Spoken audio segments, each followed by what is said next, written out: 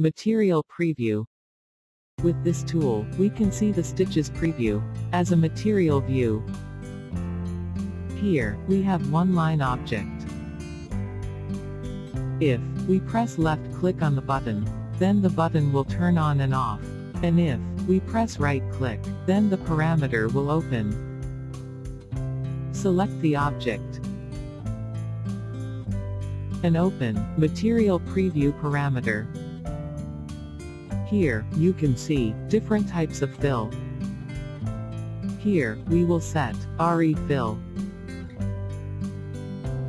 Here, you can see the look of Aarri fill. Let's see again. Now, we will copy the object by pressing Ctrl key, and take it down.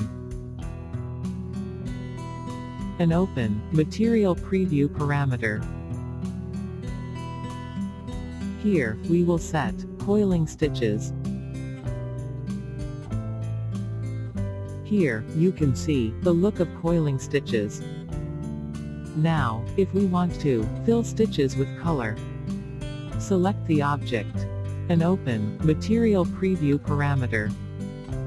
And turn on Filled with Color button.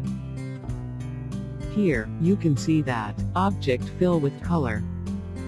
And set other parameters, as per your need.